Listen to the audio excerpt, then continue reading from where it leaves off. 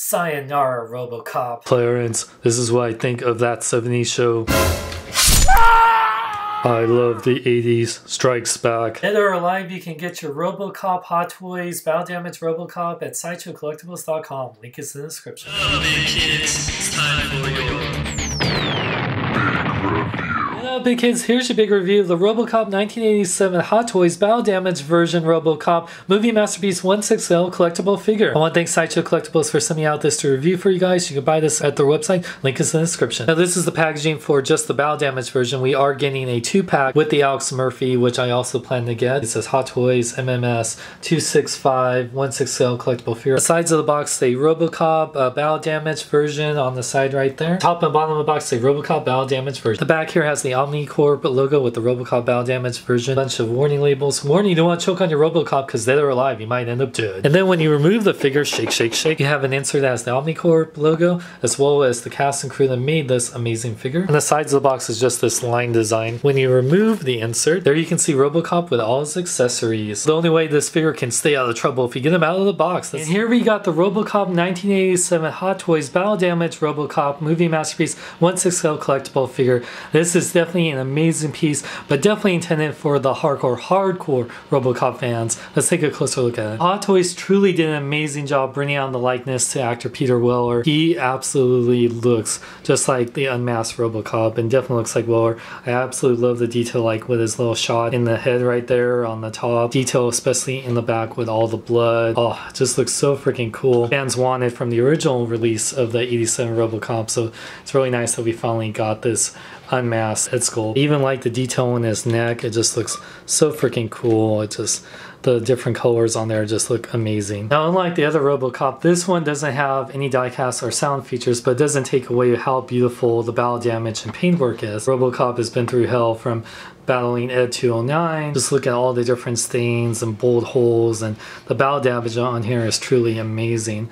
Like on his arms, just look so freaking cool. It's definitely, he's been through hell. The wires coming out of there, it just looks freaking gnarly, man. Oh, you can see more wires on the back of his right shoulder and just like all the different stains on him. He's Oh man, he definitely needs an upgrade. Whereas the diecast Robocop was all nice and glossy, this one looks like he's been through the dirt, especially his boot. The amount of different paint apps and detail is just phenomenal. Look at every little inch of this and just see so much detail is put in there. Hot Toys really outdid themselves in the paint work. So many different bullet holes, so many different leaks and paint work. Oh my god. He Even has bullet holes in the back of his ankles and I really love the pivots that he has. It just looks so freaking cool. Just like the diecast Robocop, he does have a working leg holster. You want to first bend his knee a little bit, then you want to bring this out and then you can pull this out right here, actually pull out uh, his pistol. Just like the diecast when you get two versions of the Beretta 93R or the Auto 9. Very nice. This is the plastic one. Just like the original, it says in the instructions to put the plastic one in the holster, but you can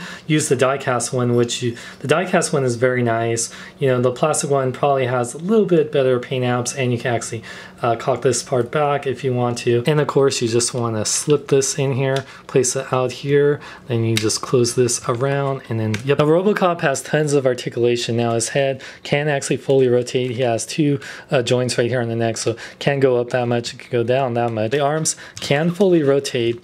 They go in and out that much, but if you actually pull this out, can go in and out that much more, can go in and out that way too. Now he bends a little over 90 degrees. He moves in and out this part arm as well as in and out this way. He also rotates at the wrist and goes in and out. He has the individual finger joints, three in each finger and two in the thumb. Now his upper ab can go forward and back and side to side that much, but actually if you pull it out a little bit, it can move left, right a lot more, as well as go forward and back quite a bit more. Now his legs do go forward and back that much, and they only go in and out that much, but you actually pull them out and they can go up quite a bit. They can now sit in that chair if you got that uh, uh, working docking station chair, and they can go in and out that much. And he does bend at 90 degrees at the knee. Uh, his ankles can pivot forward and back. This part also moves forward and back. He doesn't have any ankle pivot side to side, but he does have toe articulation forward and back. Now, if you have the diecast Robocop, these figures work together for interchangeable ability to make the best of the Robocop looks you desire. Now, you can actually remove the chest plate right here. It's just held together in magnets like the old Robocop. You even see where the speaker would have been if this had the sound effects. And the battle damage piece that came with the diecast Robocop, you can put on here if you so choose to to make it slightly less battle damage if you want. Or you can also swap out heads to give the unhelmeted version to the more clean versions. You just be very careful when you remove this with the head right there. Then you want to remove this one with the neck piece. Also make sure to remove this little black rubbery piece that you want to put in there. Now you can place this in here and you can place the Robocop helmet head back on this one. Of course, it looks better with the battle damage helmet too, so let's put that one on there. Now you can do a fully battle damage Robocop with helmet or the unmasked Robocop with your clean diecast version. This is a great option, but like I said, you need two different figures to do either look. Now Robocop comes with quite a bit of accessories, including a detailed instruction manual on how to do his articulation and how to put in his gun holster. Now besides his articulated hands, he comes with a pair of fists and he comes with the hand with the data spike that's all bloody. Very cool detail. I love the blood effect on it. Robocop comes with three jars of baby food that he used to target practice when he was trying to get his targeting system online. It comes with little stickers for the baby food in case that, you know, you mess up on one. But yeah, they're really nice little jars. I thought that was a fun little extra. Now the best accessory Robocop comes with is the Cobra Assault Cannon. This is what he used to took out Ed 209. This thing is massive. Holy crap detail on here is just phenomenal and it does have working parts like the tripod. You can even pull this back if you want to. It's spring loaded. Love the little detail with the viewfinder a bit. Now you can actually get Robocop to hold this with two hands uh, even though he doesn't have any bicep articulation. It's just not going to be a full straight on headshot. And Robocop comes with this OCP stand that says Robocop right there with the adjustable cradle. I still got it. Targeting systems back online. Wait, now I have no food. Why? I'm so hungry. Wah. Size comparison time. Now, Robocop stands at over 12 inches tall. You can see compared to the diecast Robocop and compared to the Tony Stark from Iron Man 2, as well as how much taller is a Marvel Legend like Mark 43 Iron. Now, if you're a huge Robocop fan like me, this is an amazing piece. The amount of detail, the paintwork is off the charts. I absolutely love the Cobra Assault Cannon. The articulation on this guy is pretty amazing.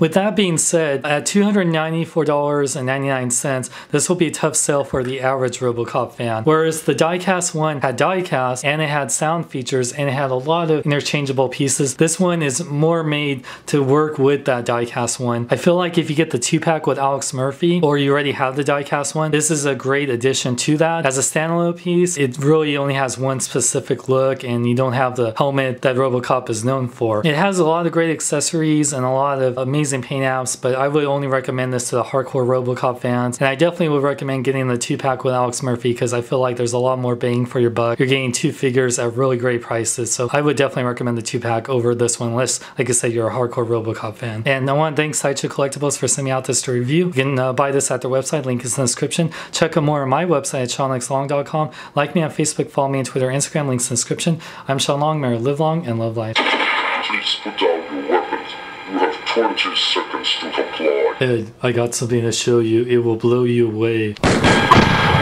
Comply with that. You're dead, Ed. I'm Batman saying, if you want justice for America, then spend your Independence Day playing Batman Arkham Knight. How could you say that? You don't know what's best for America. They should be going out watching fireworks, having picnics,